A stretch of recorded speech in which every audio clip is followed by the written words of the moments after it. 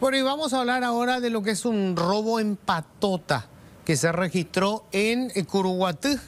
Estamos viendo imágenes de cómo en grupo vienen a, atropellar y a, robar. Se llevaron televisores, eh, se llevaron consolas de juego. Vamos a ver cuando entran al local comercial, son varios, y se llevan todo lo que pueden. Está allá nuestro compañero Carlos Aquino con los detalles de la información. Carlos.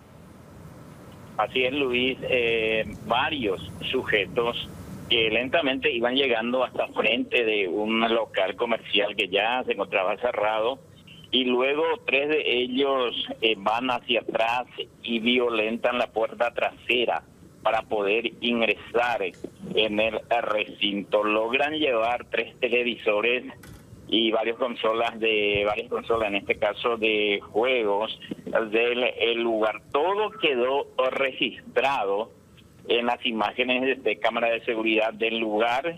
Eh, pareciera que ellos hicieron una cita hacia ese hasta ese lugar para poder luego robar. Serían entre cinco a seis eh, personas tras la denuncia realizada por el propietario del lugar la policía de la comisaría de Quinta de Curuguatí se movilizó rápidamente y pudo detener a uno de ellos y recuperar un televisor y otra consola de videojuego. A estas alturas ya todos los involucrados estarían eh, ya identificados plenamente. La policía ya está siguiendo los rastros de estos sujetos que conformaban esta banda. Hablamos al respecto con el con la víctima con el propietario del local, el señor Víctor Villalba.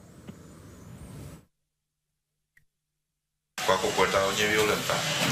Porque güey, las 10 de la noche ya, o sea, las 10 y media, un pues güey, y gusto pues y cuatro putas años, porque negocio pues. No sé, otro lado y con la se va.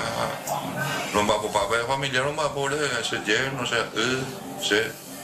Ah, pues a ver, ya la manera. Pues, eh, cama ñuitela.